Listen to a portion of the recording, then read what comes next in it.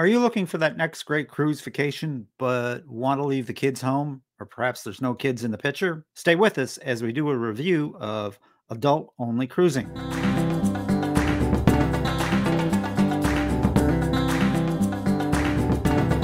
Joining me today to talk about adult cruising is Amber Droge and Dick Knoll of Cruise Holidays of Topeka. Cruise Holidays of Topeka is a longtime travel agency serving the needs of folks in and around Topeka, Kansas, and across the country.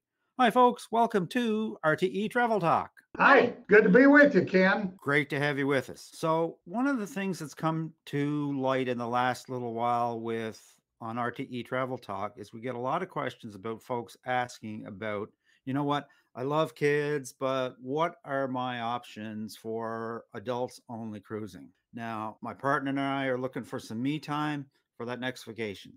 Now, I happen to know that that's a topic that's going to become a bit of a specialty for your agency.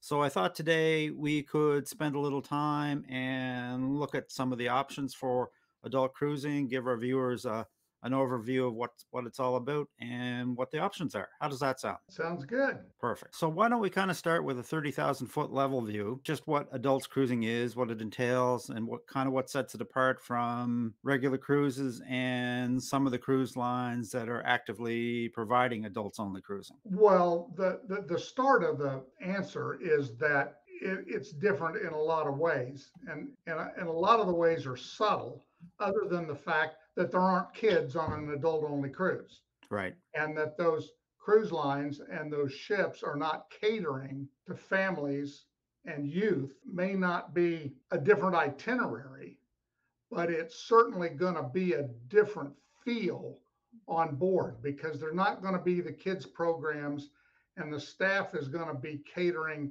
to adults, not kids. Right on, right on are there quite a number of cruise lines involved with that? Well, there aren't very many cruise lines that say no kids.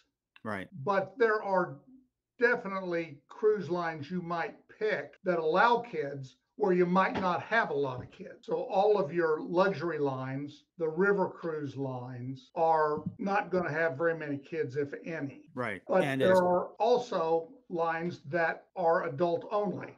And right. we can name two probably that are obvious Virgin and Viking. Okay. Which basically cater to adults only. Okay. So besides the obvious, like obviously no kids, what you know, what would you find as some of the key benefits of an adults only cruise? Relaxation. And I think it depends on the line. Viking, you're going to get enrichment in art and culture, and they're going to delve deep into that. On the Virgin side, it's going to be more how the cruiser wants to spend their time they can spend it as upbeat and rambunctious as they want, or they can just have a relaxation time and enjoy quiet. So, if I understand what you're telling me, Amber, they're really zeroing zeroing in on what ticks all the boxes for adults. Exactly. So you may see less games up on the top deck, more enrichment in the auditorium, different opportunities. For instance, the uh, comedian might be different right. on the on the ship. Those kind of programs they don't have to be as sensitive about some subjects as they might be otherwise. Exactly, exactly. So because there's not going to be any kids in the audience, yeah, or perhaps yeah. their parents don't want them to to be exposed at this point in their life.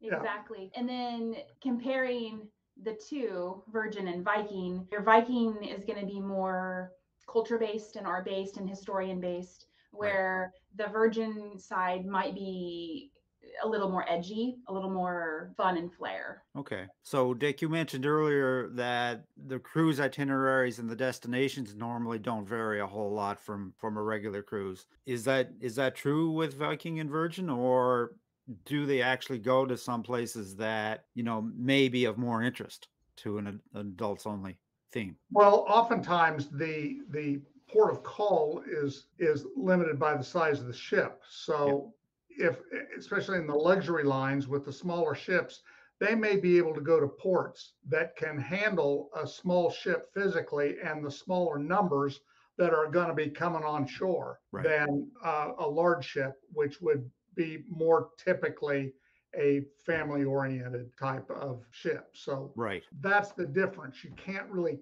count on a huge difference in itinerary based on whether it's a family cruise or an adults only cruise. But they're all going to hit like the Caribbean, Europe, transatlantic, South Pacific, all the areas. Right. Mhm. So, what about the onboard amenities and entertainment? Now, you mentioned obviously with the entertainment, they can be a little bit more risque in some cases. Um, a little edgy, um, but for the most part, you know what you're getting yourself into before you go. But then again, on some of the lines, you're going to be more historian based, or you're going to have enrichment courses that prepare you for the destination that you're going to arrive at. That way, you you're learning as you go as well. So, the enrichment forms a, a, a large part of it on an adults only cruise, if I understand you correctly. Yeah. You may find that uh, there are more beverage oriented programs on an adult only where you'd Right. have scotch tasting or martini making or those kind of labs or skills or or tastings. And that would make sense. And you're going to find probably, I would expect you're probably going to find more of those simply because they're not having to design programs for both families and adults. They're That's right. just designing programs on that particular cruise for just adults only. Yeah. You know, you, the other thing is you might find the music a little different in the disco or in the uh, the other music venues. So, what about dining options? Are they pretty much the same, or with an adults only cruise, could you expect something a little, perhaps maybe a little higher end or different tastes? Well, I'm not sure that that's going to make a big difference. I mean, Right. the, if there's a if there's a hamburger bar up on the on the pool deck, that's still going to be open. But there might not be a lot of kids running around throwing French fries at each other. That's going to depend more on the cruise line Yeah. and the ship and and what the venues that they have supports. You're typically going to get similar food. No, exactly. And as well, like you you mentioned that the demographics from cruise line to cruise line to cruise line can vary quite a bit. So even if some cruise lines are not catered to both families and and the other, your agency can probably direct people in the right direction towards, you know what, it's going to there's going to be some kids on this cruise line, but not a lot because of the particular Yeah. theme of the ship. Yeah. So, for instance, if you put a Royal Caribbean ship and a Holland America ship side by side Right. and tried to estimate who's going to be on which ship, there's going to be a lot more kids on that Royal Caribbean ship, even though Holland will accommodate families. Right. But And that makes sense because Royal Caribbean goes out of their way to provide activities and and the like that would attract attract families and kids. Exactly. So what about the social scene as compared to a family oriented ship? For example, if I was to go on board an adults only cruise as a solo traveler, would would that be a good fit for me as I think so. Uh, I think like-minded um, adults gather together, and we're seeing an uptick in solo travel right now. And Right. so I don't think there's a better time. so it's a good fit then? It is. It's a very good fit. You're gonna see solo travelers, couples, group friends of uh, groups of friends, generational adults with the older adults. Uh, you're gonna see all of it. Right. So Amber, we talked about Viking and Virgin catering just to adults only, and some of the other regular lines that you know you're going to find some some kids on board and some with qu- quite a bit more. But are there is there such a thing as on some of these other lines as specialized adults only departures? For example, on Royal Caribbean, could you find an adults only cruise? Do they provide such a thing, or or is it strictly one or the other? I'm not aware of Royal Caribbean having Mm. an adult only option. I know they have adult only areas on their boat, as do a lot of lines. They have Sure. adult only areas. But but here's the thing you could find. Um, Right. Even if it's not an adult only ship, you might be able to find an adult only group that you could book into. There are some groups that are for single and solo travelers. Right. And even though the group is all adult, that doesn't necessarily mean the ship would be all adult. But, but yet but yet then that then this group probably can be organized with special events for those people on board Yeah. um greet meet Exactly. and greets and the, and the like right Yep. correct. yeah now again coming back to um, solo travelers i gather the accommodations are pretty much the same on board because the ships are the same So the staterooms are gonna are not gonna vary a whole lot. But is there provision for solo travel and solo cabins on, for example, Viking and Virgin? On Virgin, there is. They do offer solo provisions, so you're only charged for the single traveler, and they give $600 in free beverages, alcoholic beverages or specialty beverages, uh, to those solo travelers. Oh, great. And there are solo rooms on other cruise lines, even though they're not adult only. For example, Norwegian has solo room. Right. So I would expect they're in demand quite a bit, those solo rooms. There wouldn't be a They lot are. on each ship. Yeah. They are. Yeah. So And they do think- that in a pod situation so that they have an area that's dedicated to those rooms and those people. to help these sol- people that are traveling solo connect. Right. Yeah. Now we talked about river cruises. For the most part, my experience with river cruises, like there is there is some river cruise lines that that will allow families on board, but then it's not really conducive to families on a river cruise, is it? Or am I wrong about that? You are not wrong. And Mm. the, the one of the, the biggest obstacles is is that on most river cruises, the rooms themselves, they only allow two people in the room. Right. So a family of three or four could not be in a room together. Right, That's so- that's the first obstacle. The second one is is that there there is no youth programs on river cruise. And so Ken, my experience is the same as yours. There are very few children Yeah. on river cruise. Not that I haven't seen them, but Yeah. it's rare. And unless they're into history, Right. They're going to be bored stiff. Yeah. The entertainment's different. There's no outdoor activities, no water slides, no Yeah. anything. the takeaway the takeaway from that then amber is folks that are thinking of a river cruise they can book a river cruise pretty much with any cruise line and be comfortable that they're not going to run into a lot of children or families run kids running up and down the halls of a, of a river cruise ship because there's just not going to be that many No. Yeah. Yeah. And if there are children, they're going to be well behaved. It's going to be something they're interested in. Exactly, exactly. We talked about Viking and Virgin as two particular lines that cater to adults only. Is there any other ones out there that you know of? Well, I would I would mention the luxury lines: Seabourn, Silversea, Silver Sea, Regent. Regent, yeah.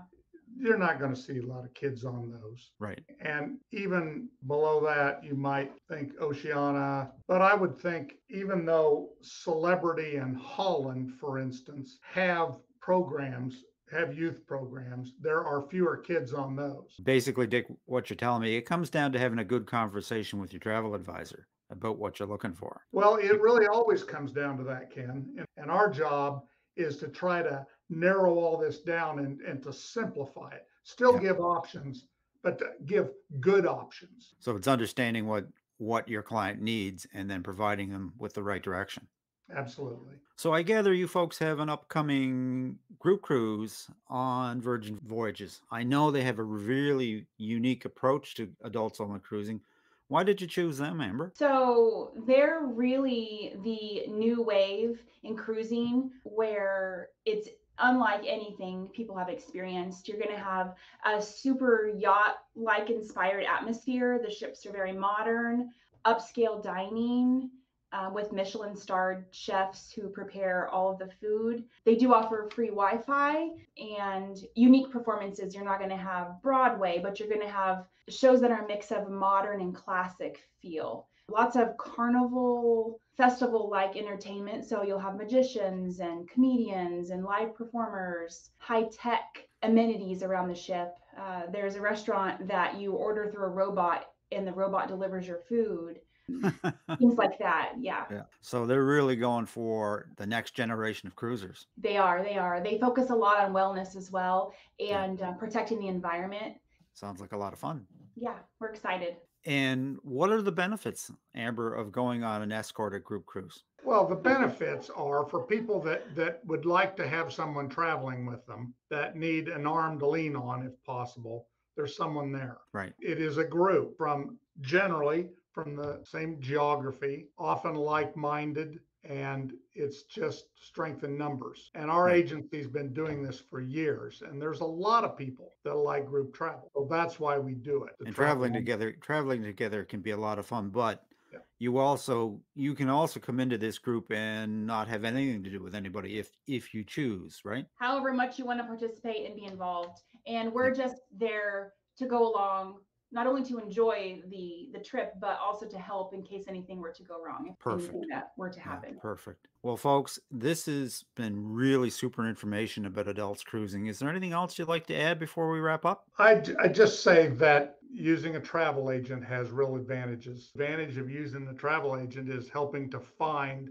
these opportunities, which may or may not be obvious when you start down a road on your own looking for not just the right cruise, the right ship, the right sail date, the right itinerary. Lots of factors that Amber and the rest of the staff here can help with. Fantastic. Well, this has been absolutely super. If folks wanted to find out inform- more information about this cruise, Amber, or another cruise with Cruise Holidays of Topeka, how would we do that? Well, you can go to the website landandseapros.com.